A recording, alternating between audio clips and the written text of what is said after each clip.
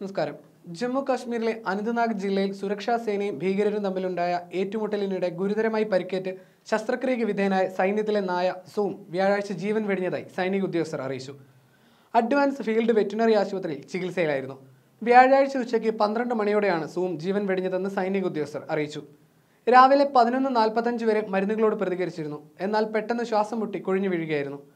അനന്ത്നാഗിലെ കോക്രനാഗിൽ ലക്ഷറെ തൊയ്ബിയും സൈന്യവും തമ്മിലുണ്ടായ ഏറ്റുമുട്ടലിലാണ് സൂമിന് ഗുരുതരമായി പരിക്കേറ്റത്. തെക്കൻ കാശ്മീർ ജില്ലയിലെ താങ്പാവ മേഖലയിൽ ഭീകരരുടെ സാന്നിധ്യമുണ്ടെന്ന് വ്യക്തമായി വിവരം ലഭിച്ചതിനെ തുടർന്ന് ഞായറാഴ്ച രാത്രി വൈകി സുരക്ഷാസേന തെരച്ചിൽ നടത്തിയിരുന്നു. ഭീകരരെ തുരത്താൻ മുന്നിൽ നിന്നത് സൂമായിരുന്നുവെന്നും ഏറ്റുമുട്ടലിൽ വെടിയേൽക്കുകയുമായിരുന്നുവെന്നും സൈനിക വൃത്തങ്ങൾ പറഞ്ഞു. പരിക്കേറ്റിട്ടും സൂം ദൗത്യത്തിൽ പങ്കെടുത്തു. ഏറ്റുമുട്ടലിൽ സൂമിന്റെ സഹായത്തോടെ രണ്ട് ഭീകരരെയും വധിച്ചു. ഓപ്പറേഷൻ താങ് പാവസിന്റെ കോമ്പാക്ട് ടീമിന്റെ ഭാഗമായിരുന്നു സൂം. അനന്തനാഗിൽ സൂമിനെ കൂടാതെ രണ്ട് സൈനികർക്കും ഏറ്റുമുട്ടലിൽ പരിക്കേറ്റു.